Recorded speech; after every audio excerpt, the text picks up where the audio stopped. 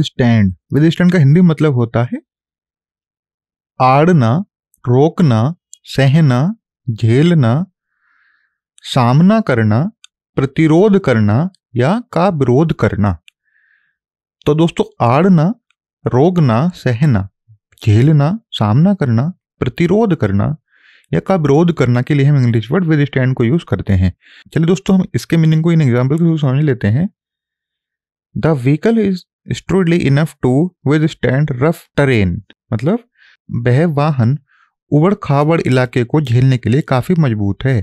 तो दोस्तों, इस सेंटेंस में विद स्टैंड का मीनिंग हुआ झेलना। चलिए दोस्तों, हम इसका एक और एग्ज़ाम्पल देख लेते हैं।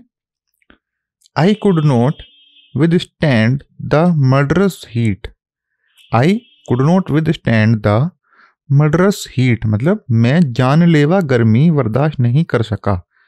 दोस्तों, इस सेंटेंस में विद स्टैंड का मीनिंग हुआ बर्दाश्त करना या झेलना।